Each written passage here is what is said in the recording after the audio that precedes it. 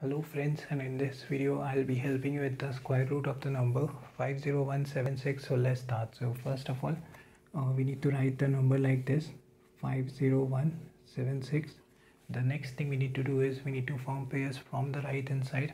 So one pair will be this one pair will be this and this 5 will be left out.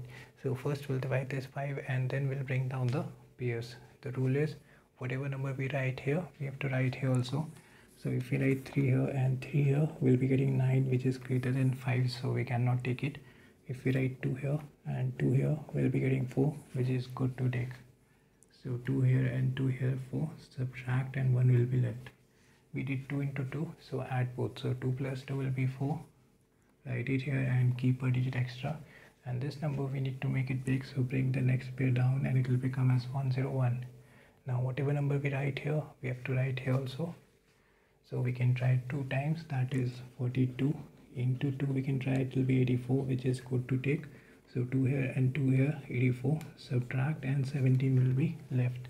Now 42 into 2 we did so add both. So 42 plus 2 will be 44 uh, write it here and keep a digit extra and this number we need to make it big. So bring the next pair down and it will become as 1776 okay?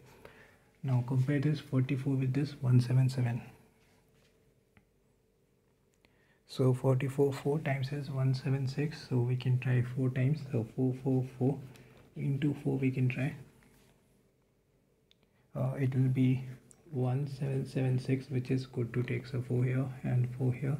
1776 subtract and we'll be getting 0 once we get 0 whatever we have in the quotient will be the answer. That is 224 so square root of 50176 will be 224 that's it. So if you found the video helpful please do hit the like button. Do consider subscribing and thanks for watching